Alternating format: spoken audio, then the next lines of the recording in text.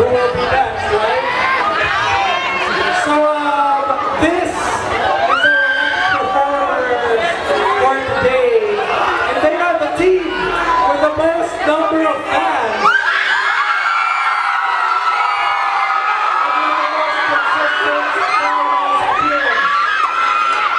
I want to hear you.